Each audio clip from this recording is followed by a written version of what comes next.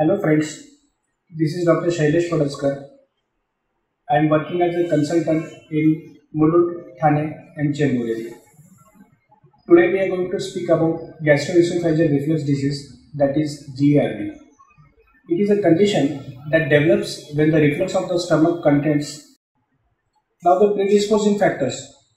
They are eating habits, lifestyle, high BMI, obesity, high dietary fat intake, drinks, caffeine, alcohol, smoking and spicy food.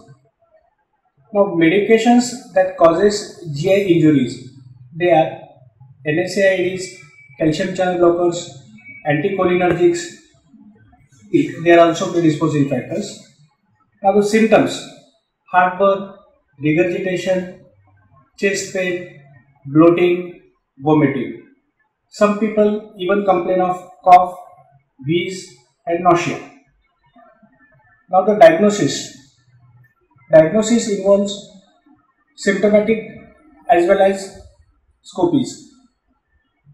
Heartburn and and or regurgitation, empirical PPI trial, upper GI endoscopy, endoscopic biopsy. Now we'll come to the management. Management includes first and foremost lifestyle modification, proper diet, weight loss. Second, symptomatic homemade remedies, antacids, H2 blockers, proton pump inhibitors for 8 to 12 weeks and surgical intervention.